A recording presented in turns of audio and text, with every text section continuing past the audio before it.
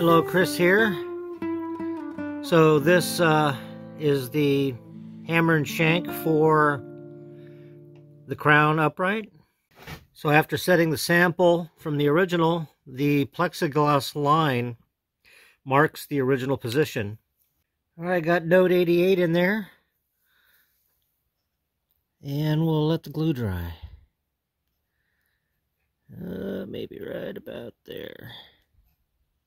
Look at that rake. Pretty big angle there. Now I've got the jig set up to match the sample of the original. So I'm preparing a sample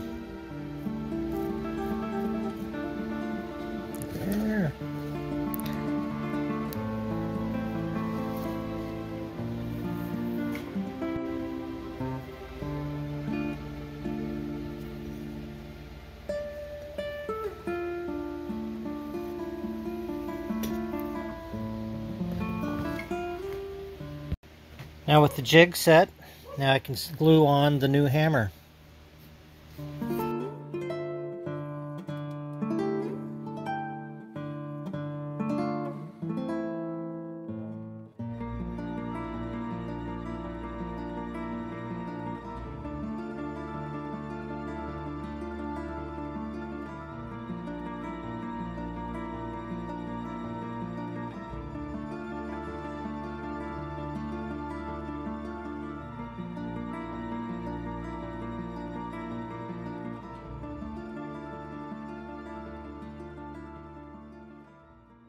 So here's my hammer hanging jig that I'm dubbing the Beast.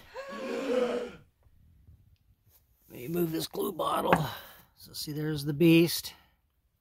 All those big timbers and the purpose of the timbers was to raise it up off the bench so that I can use this rack right here with this rack. Um, I can swing the action around all the way around really and work on any part of the upright action uh, comfortably. So right now I've got the action in there and it's horizontal.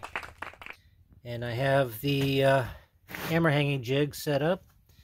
And to hang hammers this way all you need is a bottom stop a top stop. And then uh, after the samples are set you run a straight edge from the end sample to the other end and then all the rest is just uh, installed in the jig.